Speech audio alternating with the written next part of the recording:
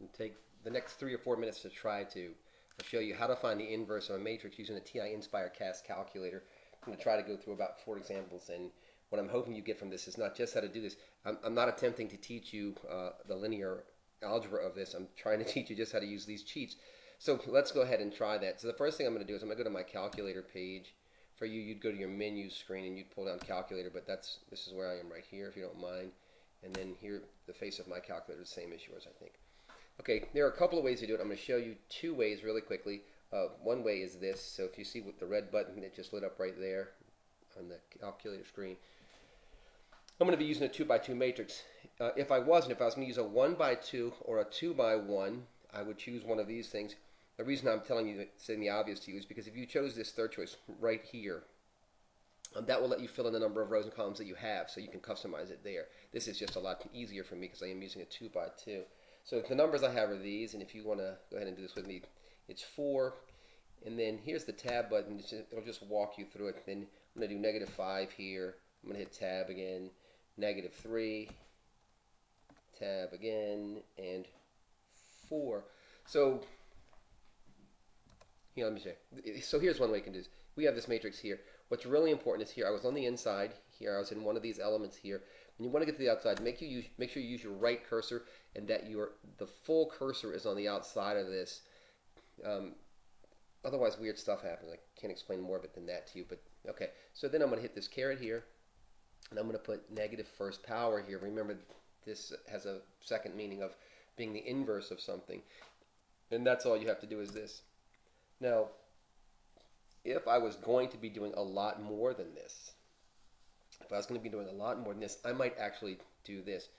I might actually, when I type this thing, I might have actually captured this whole thing like this. I'm going to show you, I'll show you a little trick here. If you hit Control C here, Control C is for copying. If you move the cursor down to where you want it, you can hit Control V and Control V makes a copy, uh, produces a copy of it for you here.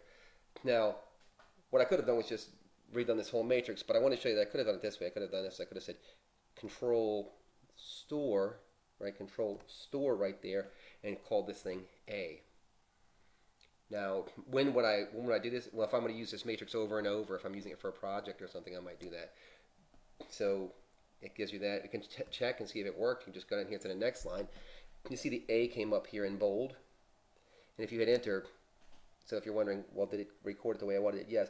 Now what you could do is this. You could say A and then take that to the negative first power, right? Negative first power is equal to that. And you see that here it shows us the matrix and here it shows us the inverted matrix here.